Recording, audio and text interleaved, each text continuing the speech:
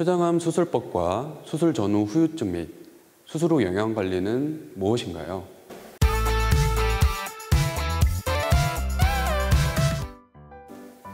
안녕하세요. 순천향대학교 천안병원 간담췌외과 정해일입니다. 여러분, 애플 창시자 스티브 잡스, 성악가 루치아노 파바로티의 목숨을 앗아간 병이 무엇인지 아시나요? 네, 맞습니다. 생존율이 가장 낮은 암 중의 하나인 췌장암인데요.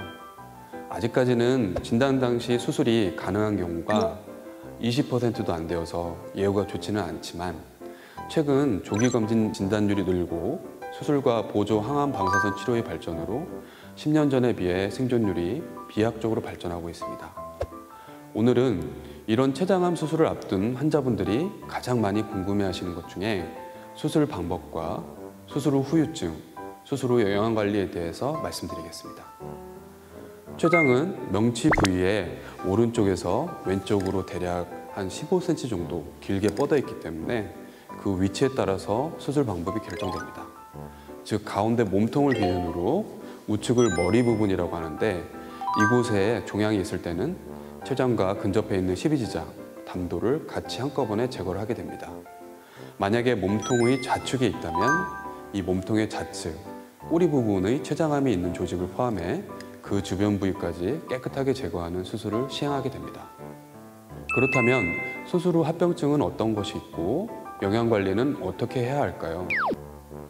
수술 후 초기에 발생할 수 있는 합병증으로는 위 배출 지연에 의한 소화장애, 췌장루, 담즙루, 출혈 등이 있습니다. 특히 췌장루가 가장 흔한데요. 이것은 췌장을 절제를 하면 그 단면에 아주 작은 2, 3mm의 소화액이 나오는 췌장관을 볼 수 있는데 수술할 때 이 관을 다시 다른 소장에 연결하여 줍니다. 하지만 너무나 작은 췌장관을 소장에 문합하다 보니까 췌장액이 옆으로 셀 수가 있습니다.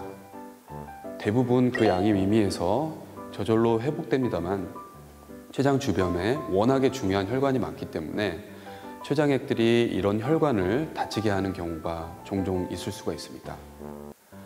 어, 또 췌장은 단백질, 탄수화물, 지방을 분해하는 소화 효소와 혈당을 조절하는 인슐린 등을 호르몬을 분비합니다.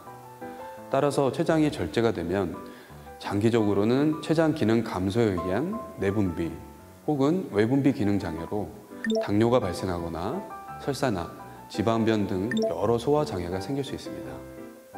하지만 이 소화 장애는 식습관 개선과 췌장 효소 추출제를 투여하여 호전이 가능합니다.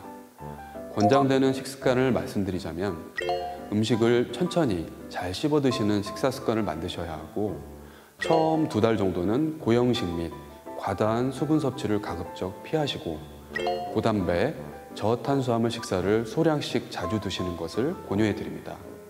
특히 식사량이 적다 보니까 영양 보충제, 단백질 보충제, 영양죽, 미량 원소 보충제 등을 드시는 것이 도움이 될 수 있습니다.